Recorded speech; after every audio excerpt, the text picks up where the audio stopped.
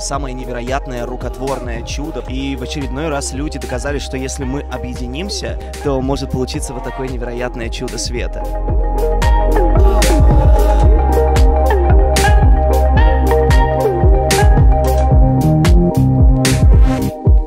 Самый яркий, самый красочный павильон — это Россия. Ну, я считаю, это действительно один из самых крутых павильонов здесь, из 200 с лишним павильонов.